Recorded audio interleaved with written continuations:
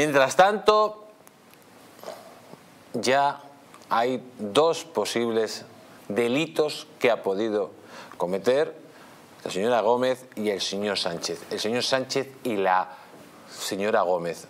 El dúo Calatrava. Atención, está cada día más claro que pudo haber presuntamente un delito de tráfico de influencias en toda esta trama y pudo haber un delito de cohecho por parte del señor Sánchez. Es la primera vez en la historia de la democracia de un país serio que la primera dama o la mujer del presidente, en este caso, para que nadie se me ofenda, pues utilice su relación con su marido para realizar negocios, negocietes y variados. Y en esos negocios y negocietes y variados que hacía con Globalia, con Europa, pues casualidades de la vida, hay un rescate de 600 millones de euros. Un rescate que se hace a una empresa que patrocinaba los actos de la señora Gómez. A una empresa cuyo CEO se reunió dos veces con la señora Gómez.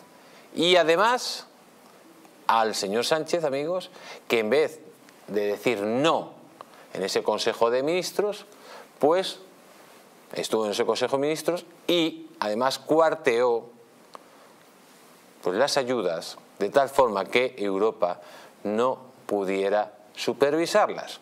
Todo esto bajo la noticia que dice lo siguiente.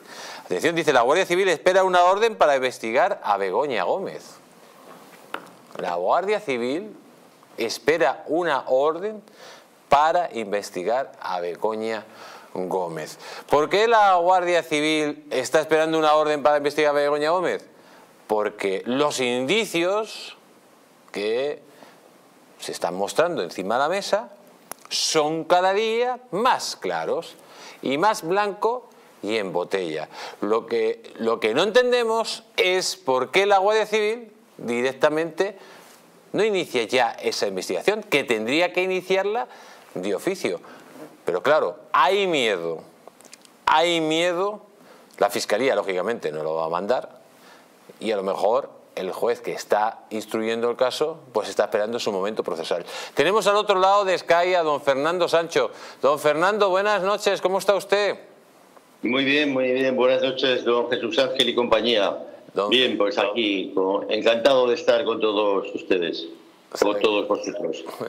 Eh, don Fernando, ¿sabe que evidentemente la Guardia Civil, tarde o temprano, tendrá que iniciar una investigación sobre Begoña Gómez y sobre Pedro Sánchez? Pero claro, ahí tenemos una fiscalía que va a intentar paralizar todo.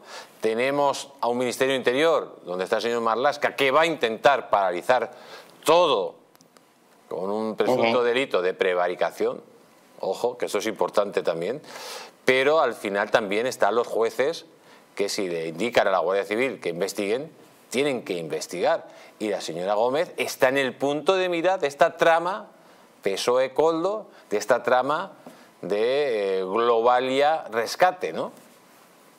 Hablando de, de Marlasca, Jesús Ángel había estado impecable sencillamente brillante Pepa Millán, la, portavoz, la portavoz de Vox, cuando bueno pues le ha dicho le ha, dicho a Marlaska todo con una claridad y una rotundidad tremenda, ¿no?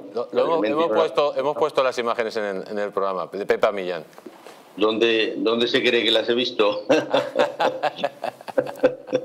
bueno, pues la verdad que esta me ha parecido, francamente, porque es una político, una persona que tiene, bueno, pues se le ve que, tiene mucha entidad como letrada y sin embargo es muy joven y tiene mucha capacidad, mucha entereza para estar en este tipo de situaciones y cantar en las 40 nada menos que Alex Juez. No creo ya que pudiera volver nunca un juzgado ese personaje. Eh, bueno, aunque fíjese, la fiscal de Madrid, ¿no? que fue alto cargo de Zapatero. Es que, vamos, en fin. Luego presumirán de independencia o qué es una cosa tremenda, ¿no? Hombre, yo creo, Jesús Ángel, que la Guardia Civil ya ha hecho sus investigaciones, al menos eh, personal de la UPO. Otra cosa es que no puedan decir nada de momento, pero que estarán buscando, indagando y que ya tendrán algunos algunos hechos y algunos temas silvanaos, yo creo que sí. Eh, a mí, por otra parte, me da la sensación, bueno, sin desmerecer, por supuesto, las exclusivas que dio en su día, en su día empezó el Confidencial, creo que fue, ¿no? El que eh, empezó con este tema de Begoña Gómez. Pero bueno, yo creo que hay una relación muy directa también de la salida de Ábalos del Grupo Parlamentario Socialista y de sus quejas por haberlo dejado totalmente solo y abandonado y sus lamento su rosario por los medios de comunicación diciendo yo no tengo ninguna manta de la que tirar y mientras tanto no paran de salir noticias, especialmente las que hacen más daño al presidente del gobierno, que son las que hacen referencia a su mujer Begoña Gómez y más en, contrato, más en concreto a esas relaciones que son difícilmente explicables en el contexto. Es decir, porque en medio de un rescate que llamó muchísimo la atención, porque es un rescate mega multimillonario, no es un rescate normal. Estamos hablando de una cantidad que ya va hacia los mil millones de euros de, del recurso, de los recursos de todos los españoles para salvar a una compañía privada. Es que casualmente esa compañía patrocinaba a Begoña Gómez. Que casualmente además en uno de los temas más importantes para Begoña Gómez también el de la Complutense, teniendo la cátedra de la Complutense, teniendo en cuenta que Begoña Gómez tampoco tenía una titulación, fue un tema muy polémico, como para poder afrontar esa cátedra de la, de la eh, Precisamente de, la cátedra de la Complutense ya hay una querella contra, contra Begoña Gómez, pero hay otro hecho muy importante, eh, es que el comisionista ha dicho que quiere llegar a un acuerdo con la Fiscalía ha contratado a un abogado especialmente para eso, que se dedica a esos trámites para que ir a la cárcel lo menos posible, y ha dicho que va a tirar de la manta. Hay que decir que el, comisionista también estaba en esas reuniones entre Begoña y Gómez y Globalia. Si el comisionista tira de la manta, ¿en qué posición quedaría Begoña Gómez y Pedro Sánchez?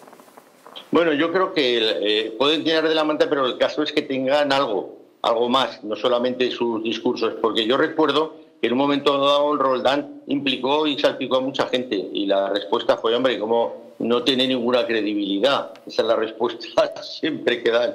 El resto no, pues yo, este hombre ya está diputado, no tiene ninguna credibilidad. Dirán, por supuesto, que no tiene credibilidad alguna. Esperemos que tenga algo más. Yo lo que creo que esa orden supuesta, también he leído la información que publican Miguel Ángel Pérez y Carlos Cuesta en Libertad Digital y yo creo que esa orden, desde luego del DAO de la Guardia Civil no va a partir. O sea, eso es evidente que del DAO de la Guardia Civil no va a partir, porque estamos viendo así que hay un cuerpo dividido, ¿no? No dividido, en su inmensa mayoría, enorme, inmensísima mayoría, pues la Guardia Civil está, por supuesto, con las investigaciones y, y hacer su trabajo con absoluta profesionalidad e independencia.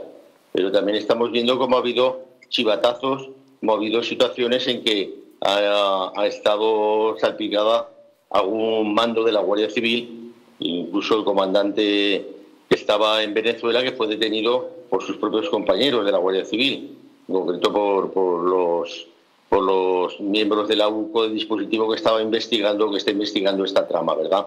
Yo creo que algo ya tiene que haber, es decir, porque no solamente es lo que esté saliendo en la prensa, sino que yo creo que este asunto, sobre todo los vínculos de Begoña, los viajes a la República Dominicana, los viajes a Marruecos, yo creo que esto hay, una persona que sabe más que nadie de todo esto, porque además compartían también en, ese momento esa complicidad con mm, la, esposa de, o la que era esposa, que luego se separaron, que ya no lo es, de José Luis Ábalos.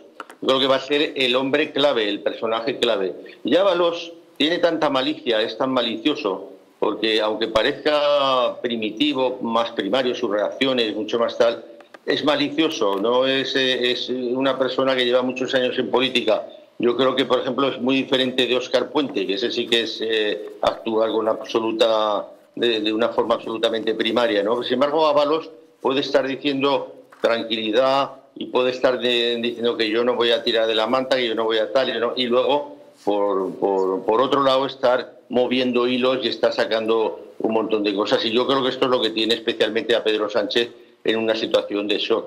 Ayer mismo, por ejemplo, vimos, eh, eh, queridos amigos y querido Jesús Ángel, pues este joven periodista Vito Quiles, que tiene mucho arrojo, que tiene mucho valor, el salir de Pedro Sánchez del Congreso y preguntarle directamente en el pasillo, no tiene usted nada que decir a las a las reuniones con el, con el comisionista, los comisionistas de la trama de su mujer Begoña Gómez, ¿no? Y Pedro Sánchez, que salía con una sonrisa forzada, pues lo que hizo fue agachar la cabeza. Y, bueno, es muy significativo, ¿no? En de un estado, de, de una situación y un estado de cosas. A Sánchez, en este asunto, lo que verdaderamente le está dejando absolutamente descolocado, totalmente descolocado, son las implicaciones de Begoña Gómez, porque además es que hay base, es decir, es que no es ninguna tontería, es que no puede ser que mientras se está negociando un rescate con Air Europa, tú vayas a reunirte con el CEO de Globalia, que es una, eh, de la cual Air Europa es la firma, la compañía principal, que es Javier Hidalgo, a la sede de Air Europa y, tengas reuniones secretas en las que cuando entras, bueno, pues la gente, todos los eh, escoltas, todos los que te acompañan, en el momento en que te reúnes con Javier Hidalgo, ahí se quedan los dos a saber que, tienen que hablar justo cuando se está negociando eh, el rescate, un rescate verdaderamente, yo diría que de difícil explicación, eh, Jesús Ángel, porque es muy difícil explicar que los españoles tengamos que pagar a una compañía privada aérea nada menos que 615 millones de euros. Oye, es que, es que vamos, es que es un dineral. Y, no, solo, 615 millones, sino que además, señor eh, Sancho, es, fueron troceados para no tener los controles de, Europa. Le tengo que cortar, le tengo que cortar aquí, señor ah, Sancho. Muy bien. Un fuerte abrazo y cuídese usted mucho. Igualmente, igualmente. Un abrazo para todos.